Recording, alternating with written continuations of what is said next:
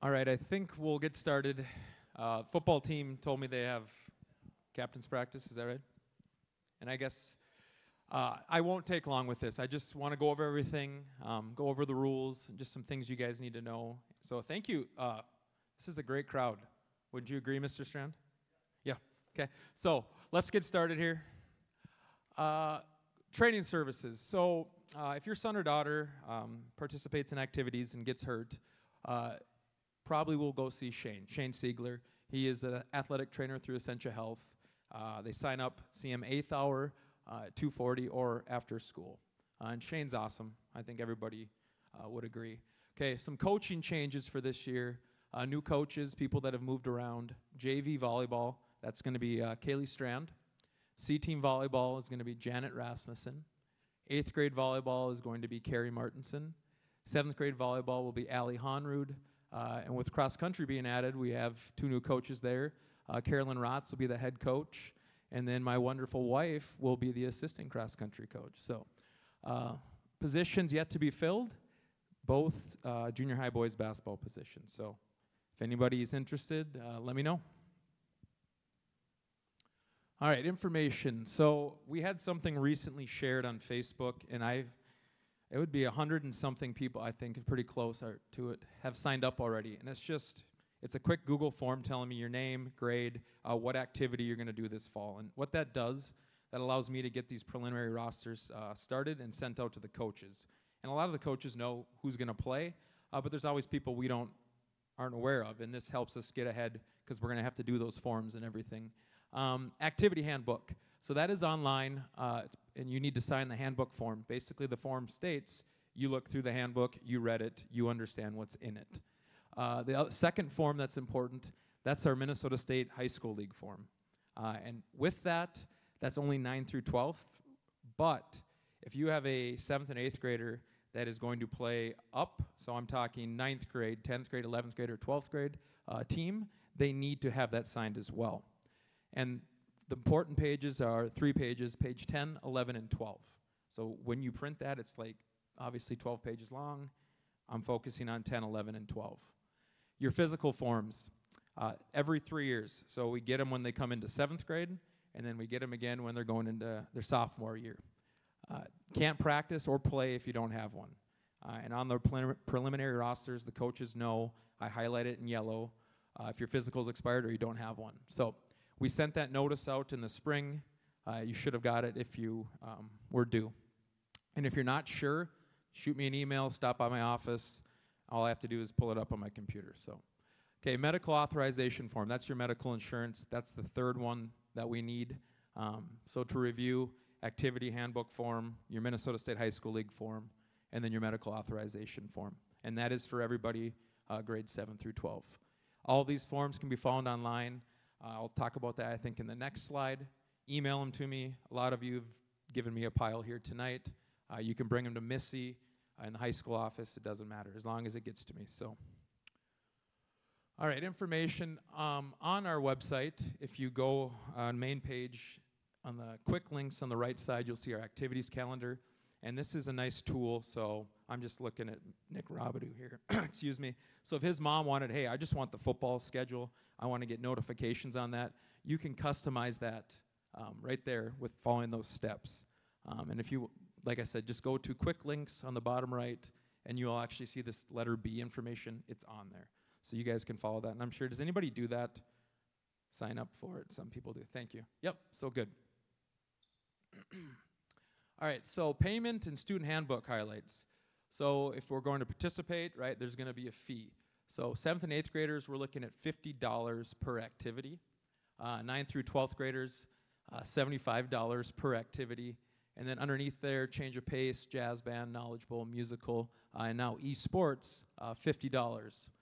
Uh, I know last year Mr. Strand quizzed me during this and asked me about if, um, I'll just look at Colin Morey. So if Colin Morey this fall is going to play football and run cross country, does he have to pay the 75 for both? And the answer is yes, until you would reach that max. So let's talk about the next part, the student max. Uh, if you're a 9th through 12th grader, the student max for you will cap out at $200. If you're a junior high student, uh, 7th and 8th, there is no student max. But there is a family max. So looking, thinking of a family. So maybe major, right, in Ava Ness, you might hit that family max this year at some point. So $350 for that. You can give that fee to your coach, supervisor. Uh, Missy in the office is really good at taking that as well. And then we use RevTrak online to pay for that. And then you need to pay that before the first event, otherwise, you will not participate. And we always have those um, the day of the game mom coming in, writing the check, or mom making that RevTrak payment at about noon that day. So let's try to avoid that. All right, activity prices. So to get into our home events, uh, and Missy and Amber are out there selling. Uh, hopefully you bought some season passes. But if you don't have a season pass, it's going to cost you $6 for adults, $4 for students, and then senior citizens, uh, 65 and over, get in free. Uh, your season passes were $55 for adults, 35 for students, and then um, obviously senior citizens don't need one. But for music concerts, we do not charge. Hmm. You sure you're gonna have sure you're gonna have practice? Parents and students. So some highlights out of this handbook. Uh, you know, student expectations. Right? There's always expectations for anything you do uh, in the locker room. Use locks. Obviously, no cameras in there. So if you bring valuables in, and you don't put a lock on it, right? It, eh, we, there's nothing stopping somebody from taking them. Uh, take care of your locker area. Keep other schools' locker rooms clean as well. So when we travel, let's be respectful, right? Let's take care of it like it's our own. Uh, behave on the bus while riding to and from events, right? And that's what the coaches are on there for. Uh, students are expected to take the school-provided transportation. Parents must make personal contact with the supervisor or coach if they are not. So if something comes up, which it always does, just make sure your mom or dad is talking to the coach saying, hey, can I take them? You know, a lot of times, if it's far trip, maybe your house is on the way home. Makes sense. You don't need to come all the way into school. You can just bring them home. Uh, some goals here, some important things. Grades 7th and 8th, our participation is our primary goal. Uh, grades 9 through 12, we know that playing time is not guaranteed. Student expectations continued here. School attendance. Uh, regular attendance for the entire school day is mandatory on the day of an event. Uh, this can affect elig eligibility for games and or practice. Exception, emergency situations, things come up. Um, coming late to school due to an illness, though, does not qualify. Um, if you have a prearranged appointment, which doctors, dentists, you name it, let the office know. Mr. Shelley is going to say, I need a slip. Show me the slip, right? So get a slip from your doctor uh, and you need a note, obviously. But tanning, getting nails done, or a haircut does not count, and that's like a springtime thing, right? There's something called prom. So I, have dealt with that personally. Um, come back to school ASAP after your appointment. Don't use a morning appointment to miss the whole morning and part of the afternoon, right? Probably on that thing it says what time your appointment was. Academic eligibility. We are um, student athletes, right? Not athlete students, which means we are a student before we are an athlete or student, anything you participate in. Uh, grade checks are done at the third week and sixth week and at the end of the quarter. Um, this is explained fully in that activity handbook. There's a lot of detail with this, but basically, your three week and six week, uh, Mr. Strand um, will pull grades on Wednesday uh, at the end of the day, and then if your son or daughter's on there uh, for a class is failing, they have the a week until that next Wednesday to get it up. And then if they're not uh, passing, they will be ineligible until they are passing. Uh, failing grades at the end of the quarter in our handbook, there's a guideline for depending what sports you're in or what activity and the duration and how many games you play, uh, that number um, differs. So if you have uh, more games like basketball, uh, you will sit more games. If you have a shorter season like uh, football, only eight regular season games, your penalty will be less. It's just sort of based off how many games you play. Lettering. So this is set up by the coach or supervisor or um, whoever is in charge of that activity. Uh, it's communicated to the athletes and parents. Uh, students who are in violation, though, of a Minnesota State High School League rule, they forfeit all letters, team awards, and conference awards in that activity. Okay, dealing with conflict. Uh, we don't live in a perfect world. Conflict's going to come up, whether that's parent and coach, whether that's a player and coach, but there's appropriate time and place. Uh, immediate, immediately following a contest, that's not when we want our parents, right? We don't want our parents at all going up to a coach after the game because we're all heated, right? We all need time to maybe step back, look at it, and relax a little bit. Uh, violations are outlined in the handbook for, you know, when these conflicts take place. And then this last one, handling conflict. So I'm referring to if your son or daughter has an issue, let's say, with how much they're playing. Okay, the first step is your son or daughter asking the coach to meet and then having a conversation about that. If that doesn't work, the second step would be son or daughter, you as a parent, and the coach. Third step would be me getting involved with the coach, with the athlete, with the parent. That is the correct order. So I know there's parents, I, have I've seen it. If as much as mad as you may be, it's your son or daughter's responsibility, step one, to go talk to the coach. And my office door is always open. You can call me on my phone. We can talk. All right, the Minnesota State High School League form. Uh, all rules for this, so this is signed and returned, and this is important. All students participating at the ninth grade levels or higher in both athletics and fine arts. So our one act play, you name it. I mean, there's many different examples of fine arts. We have art, visual art in the spring, but all rules apply for one year. So this is good. This form is good for 12 months. Um, there's concussion information in it. Please read that because we know concussions are very, uh, um, you know, they're a big deal nowadays, right? We need to be aware of everything that comes with that. Uh, there are there's one side that's the eligibility side. Please make sure athlete signs it and parent. I get the form a lot uh, and maybe just one or the other signs and not both.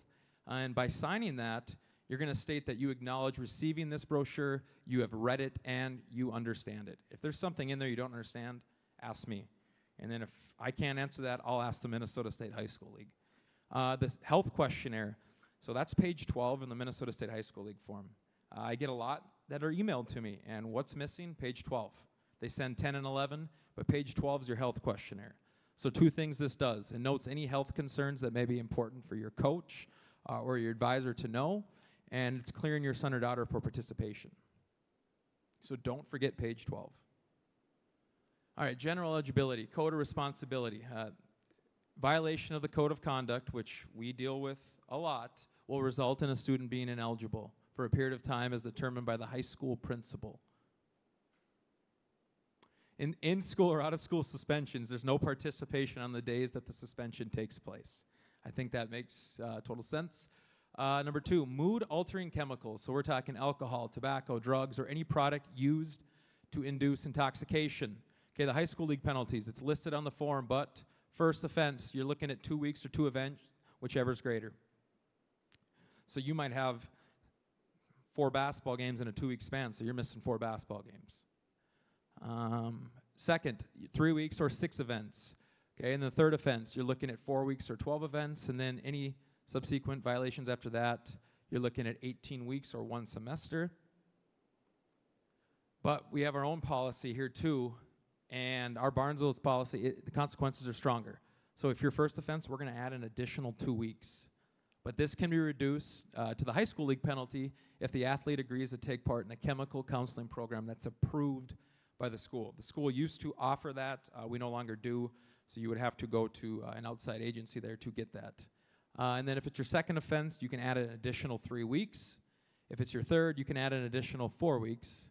And then penalties are cumulative beginning with students' first participation in league activity. So you might be in basketball, and that might carry over into baseball, might carry over into softball, things like that. So it, it accumulates and keeps going. All right, serving a penalty uh, must be in good standing to serve a penalty. So let's say you actually have two Fs. You actually are going to serve the two Fs first, then you will serve your Minnesota State High School League penalty. Okay? So there it is. If they're academically ineligible and then receive a chemical violation, you don't serve that until you're done with your um, academic one. Category two. So all other school sponsored activities, which may or may not be sponsored by the high school league, uh, such as Knowledge Bowl, esports, FCCLA, school musicals, One Act, FFA, our scheduled dances, so prom, homecoming, snowball, and homecoming court, snowball court, that's all affected too. Okay, so you might get on homecoming court, but you get a violation the week before, well, you can't be on homecoming court anymore. That's part of that as well. Um, but yeah, so consequences are listed for all those in the handbook. Okay, a couple things. Um, So last year I talked about uh, 18 units strong. That's basically what, in a nutshell, I'm, I'm overseeing or in charge of. Uh, and this year we made it 20 because we added cross country and we uh, added esports last year too. So I'll, I'll get to what that means. But for me, this, this is my core beliefs, and this is what I'll talk about when I talk with coaches. Okay, the power of the unit, max effort, your competitive attitude, and then meaningfulness. I'm going to get into this a little bit. Okay, team. Um, and that's my acronym, right? So it's uh, T is togetherness. That's just commitment to each other and to the work necessary to achieve our purpose. We will work together and not against each other. So, right? We have football team supporting the musical, right? We got volleyball supporting the wrestling team. It's just you get what I'm saying. We're supporting each other. We're not against each other, right? We're for each other. Max effort. Okay, we expect players and coaches and anybody that's involved to be, you know, go as fast as you can from point A to point B. In other words, be relentless. Okay, they're going to give their best effort in everything they do. Okay, if you're showing up and not giving everything you have, why are you there, right? Competitive attitude. Okay, that's the mindset of a winner. Constant focus on mental reps and game reps. Competing in everything you do. Okay, positive attitudes only. Uh, in my classroom, I used to have this as poster. It says, "Attitudes are contagious. Is yours worth catching?" Right? We all have good days and bad days.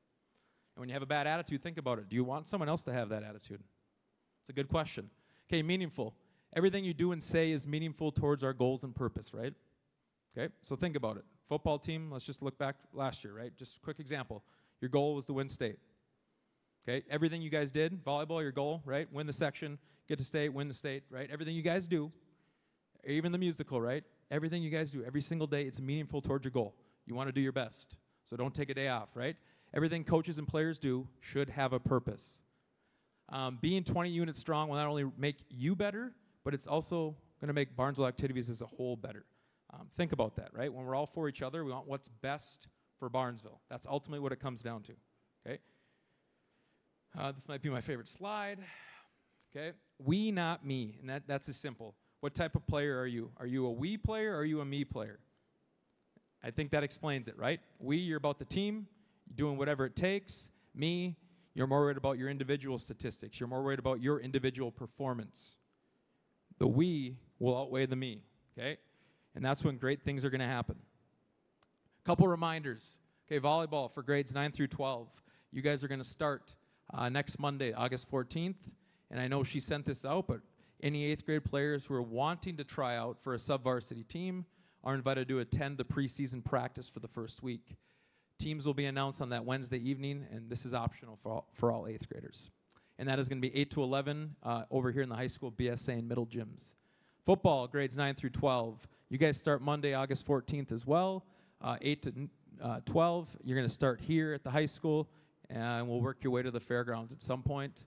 Cross country, uh, that's going to be grades 7 through 12. Uh, your practice is going to be in Monday, Oh, that's wrong. Okay, oops. That should say August 14th. Sorry, Liz. Sorry, Carolyn. Uh, three to five. So you guys start next Monday as well. Um, I think the seventh grade thing threw me off for the August 28th. So, but 7 through 12 cross country next Monday.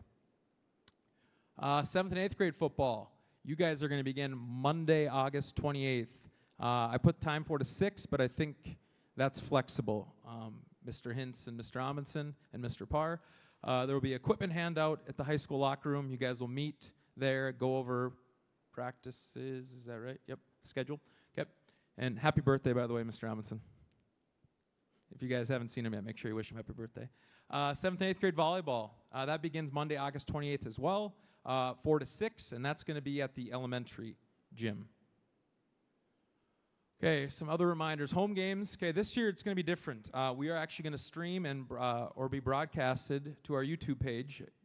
Mr. Nibby's up there. He'll be helping me with this using Hudl. Um, we have our Hudl focus camera put up in uh, the BSA right now. You may see it when you're in there. We're going to have one at the football field as well. And this is also going to allow us to, any seventh grade, eighth grade, uh, ninth grade JV football game played on that field. I'm even talking FM.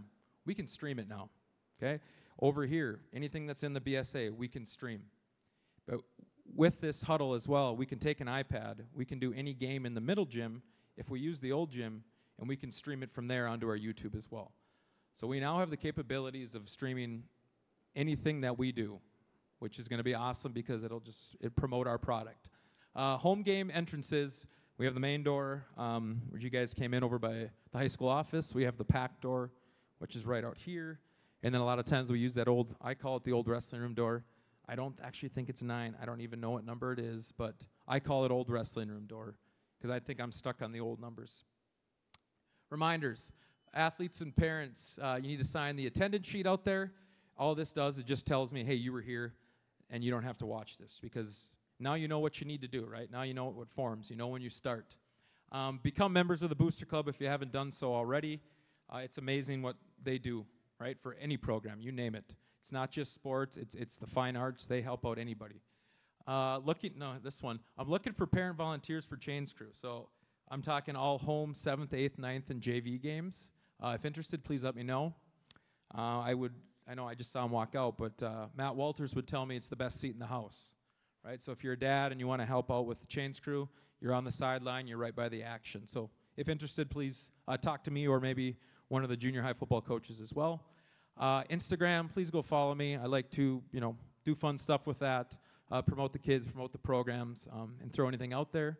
Uh, and then lastly, just you know, thank you for coming. This is when we set out to do this. This is, this is sort of the crowd we were uh, hoping for, right? And this is what we want because now we've gotten almost not everybody, but a, a good majority of our student population here.